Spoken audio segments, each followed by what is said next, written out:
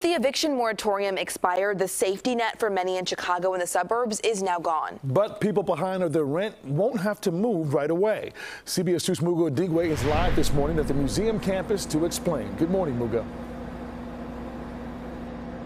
Good morning, Ryan and Audrina. So this is an issue that affects everyone involved. You got tenants who just can't afford to pay their rent right now, and landlords who need that rent money to pay their mortgage. So under the federal moratorium set by the CDC and the local one put in place by the state of Illinois, landlords couldn't evict those tenants. Both moratoriums expired on Saturday, meaning as of Sunday, landlords can now file for an eviction. But here in Illinois, there is a grace period, so those evictions cannot be enforced until September 1st. CBS 2 investigators spoke with a landlord in Calumet Park. He says six of his renters are behind, and he's missing out on tens of thousands of dollars.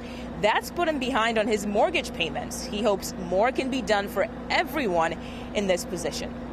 You know, we're human. We gotta look for each other. But in the meantime, I still bank is not gonna understand that.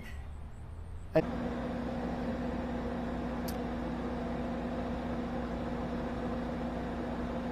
So, in the meantime, Cook County officials are urging those landlords to only file an eviction as a last resort. They also say there's free legal assistance for those landlords and their tenants to come up with a solution that's helpful to both sides. We're live along the lakefront. Mugo Odigwe, CBS 2 News.